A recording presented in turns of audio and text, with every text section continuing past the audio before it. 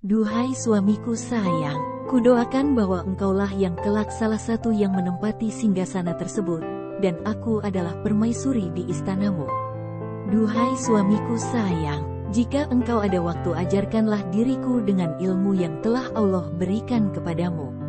Apabila engkau sibuk, maka biarkan aku menuntut ilmu, namun tak akan kulupakan tanggung jawabku, sehingga kelak diriku dapat menjadi sekolah buat putra-putrimu.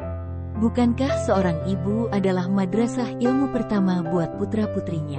Semoga engkau selalu mendampingiku dalam mendidik putra-putri kita dan bertakwa kepada Allah.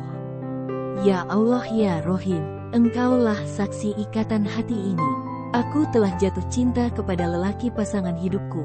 Jadikanlah cintaku pada suamiku ini sebagai penambah kekuatanku untuk mencintaimu. Namun, kumohon pula, Jagalah cintaku ini agar tidak melebihi cintaku kepadamu, hingga aku tidak terjatuh pada jurang cinta yang semu. Jagalah hatiku padanya agar tidak berpaling pada hatimu.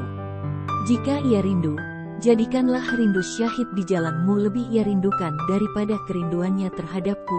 Jadikan pula kerinduan terhadapku tidak melupakan kerinduannya terhadap surgamu. Bila cintaku padanya telah mengalahkan cintaku kepadamu, ingatkanlah diriku, Jangan engkau biarkan aku terlatih kemudian tergapai-gapai merengkuh cintamu, bukan daripada kerinduannya terhadapku. Jadikan pula kerinduan terhadapku tidak melupakan kerinduannya terhadap surgamu.